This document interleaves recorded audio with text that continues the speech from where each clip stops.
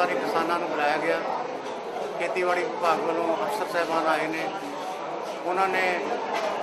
ਇਸ ਸੈਮੀਨਾਰ ਦੇ ਵਿੱਚ ਦੱਸਣ ਦੀ ਕੋਸ਼ਿਸ਼ ਕੀਤੀ ਹੈ ਕਿ ਆਉਣ ਵਾਲੇ ਸਮੇਂ ਵਿੱਚ ਜਾਂ ਜਿਹੜਾ ਹੁਣ ਸੀਜ਼ਨ ਚੱਲ ਰਿਹਾ ਹਾੜੀ ਦਾ,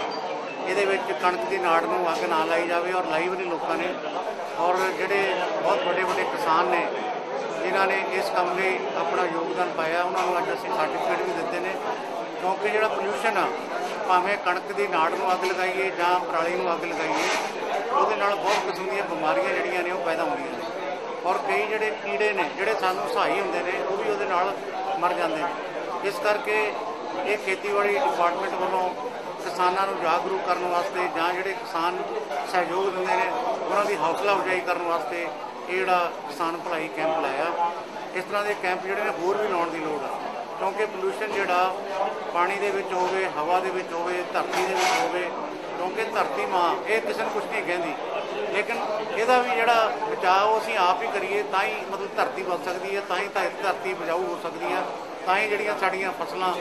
ਉਹਨਾਂ ਦਾ ਝਾੜ ਵੱਧ ਸਕਦਾ। ਸੋ ਇਸ ਕਰਕੇ ਜਿਹੜਾ ਇਹ ਕੈਂਪ ਉਹਨਾਂ ਨੂੰ ਵੀ ਸਮਾਂ ਦੇਣਾ ਸਾਨੂੰ ਪਿੱਛੇ ਜੇ ਲੇਖ ਸੇ ਸੀਗਾ ਜੇ ਤੋਂ ਡਾਕਟਰ ਬਲਦੇਵ ਸਿੰਘ ਤੇ ਜਿਹੜੇ ਉਹਨਾਂ ਅਨਸੁਰੱਖਿਅਤ ਹੋਈ ਪੰਜਾਬ ਦੀ ਦੇਸ਼ ਨੂੰ ਅਨਸੁਰੱਖਿਆ ਦੇ ਰਾਹ ਪਾ ਕੇ ਅੱਜ ਬਹੁਤ ਉਹਨਾਂ ਦਾ ਮੇਨ ਲੇਖਣ ਦਾ ਇਹ ਸੀਗਾ ਵੀ ਪੰਜਾਬ ਦੇ ਲੋਕ ਕਿਸਾਨ ਕੇਂਦਰ ਸਰਕਾਰ ਦੇ ਆਕੇ ਰੱਖ ਕੇ ਉਹਨਾਂ ਦੇ ਰਟੀਆਂ ਬਣਾ ਦੁਨੀਆ ਭਰ ਆਪਾਂ ਚੜ੍ਹਦਿਆਂ ਕਿਉਂਕਿ ਥੋੜੀ ਆਮਦਨ ਬਾਤ ਸੀ ਸਰਕਾਰ ਨੇ ਵੀ ਆਪਾਂ ਨੂੰ ਕਿਉਂਕਿ ਨੂੰ ਲੋੜ ਆਪਾਂ ਸਾਰਾ ਕੁਝ ਆਪਣੇ ਨਾਲ ਦੇ ਕੁਦਰਤੀ ਸੋਮੇ ਨਾਲ ਦੇ ਬੱਚਿਆਂ ਦੇ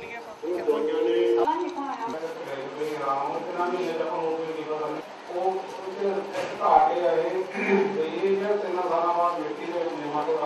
ਦਵਾਈਆਂ ਨੇ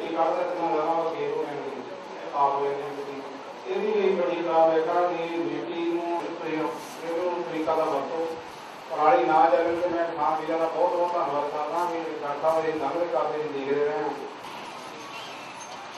ਪ੍ਰੀਤ ਸਿੰਘ ਹੈ ਜੀ, ਮੇਰਾ ਪਿੰਡ ਲੱਖਾ ਤੇ ਅੱਜ ਚੱਕਰ ਦੇ ਵਿੱਚ ਜੋ ਖੇਤੀਬਾੜੀ ਵਿਭਾਗ ਵੱਲੋਂ ਕੈਂਪ ਲਾਇਆ ਗਿਆ। ਪੂਰੇ ਤੇ ਮੈਂ ਚੇਚੇ ਤੌਰ ਤੇ ਪਹੁੰਚਿਆ ਹਾਂ ਕਿਸਾਨਾਂ ਦੇ ਲਈ ਜਿਹੜੇ ਇਹ ਕੈਂਪ ਲੱਗ ਰਹੇ ਆ, ਇਹਦਾ ਬਹੁਤ ਜ਼ਿਆਦਾ ਹੀ ਫਾਇਦਾ ਵਾ। ਜੇ ਕਿਸਾਨ ਖੇਤੀਬਾੜੀ ਵਿਭਾਗ ਦੀਆਂ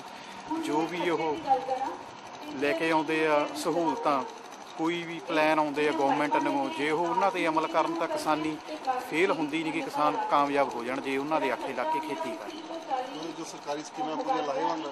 ਸਰਕਾਰੀ ਸਕੀਮਾਂ ਜਿਹੜੀਆਂ ਬਹੁਤ ਹੀ ਜ਼ਿਆਦਾ ਲਾਹੇਵੰਦ ਆ ਕਿਸਾਨਾਂ ਦੇ ਹੱਕ ਦੇ ਵੇ ਲਈ। ਲੋਕਾਂ ਨੂੰ ਅਲੱਗ-ਅਲੱਗ ਤਰੀਕਿਆਂ ਨਾਲ ਪ੍ਰੇਰਿਤ ਕੀਤਾ ਜਾਂਦਾ ਹੈ। ਲੋਕਾਂ ਨੂੰ ਜਿਹੜੀਆਂ ਝੋਨੇ ਦੇ ਉੱਤੇ ਜਾਂ ਹੋਰ ਫਸਲਾਂ ਦੇ ਉੱਤੇ ਘੱਟ ਰੇ ਸਪਰੇ ਦੀ ਵਰਤੋਂ ਕਰਨ ਲਈ ਪ੍ਰੇਰਿਤ ਕੀਤਾ ਜਾਂਦਾ ਹੈ ਕਿਉਂਕਿ ਉਹਦੇ ਨਾਲ ਖੇਤੀ ਖਰਚਿਆਂ ਦਾ ਕਾਫੀ ਜ਼ਿਆਦਾ ਫਾਇਦਾ ਹੁੰਦਾ ਕਿਸਾਨਾਂ ਨੂੰ।